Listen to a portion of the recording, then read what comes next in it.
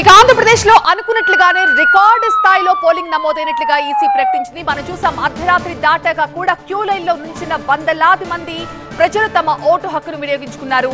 ఎనభై ఒకటి పాయింట్ ఏడు తొమ్మిది శాతం పోలింగ్ నమోదైనట్లుగా ఈసీ అధికారికంగా ప్రకటించింది. తుది పోలింగ్ శాతంపై ఈ అధికారిక ప్రకటన చేసింది ఈసీ. తుది లెక్కల తర్వాత మరింత పెరగబోతోంది. ఓటింగ్ శాతం చిత్తూరు జిల్లాలో అత్యధికంగా ఎనభై ఏడు పాయింట్ సున్నా తొమ్మిది శాతం పోలింగ్ నమోదైంది. విశాఖ జిల్లాలో అత్యల్పంగా అరవై ఎనిమిది పాయింట్ ఆరు మూడు శాతం ఓటింగ్ నమోదైంది.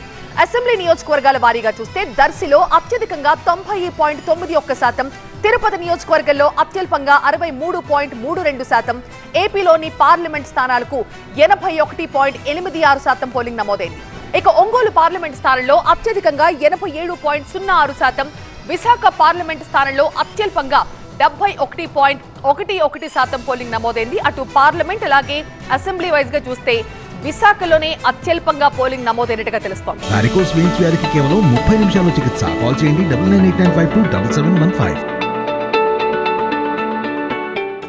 ఏపీలో రికార్డు స్థాయి పోలింగ్ నమోదైనట్లుగా ఈసీ ప్రకటించింది. ఇప్పటి వరకు అందిన లెక్కల ప్రకారం పోస్టల్ బ్యాలెట్తో కలిపి ఎనభై ఒకటి పాయింట్ ఏడు తొమ్మిది శాతం ఓటింగ్ జరిగినట్టుగా వెల్లడించింది.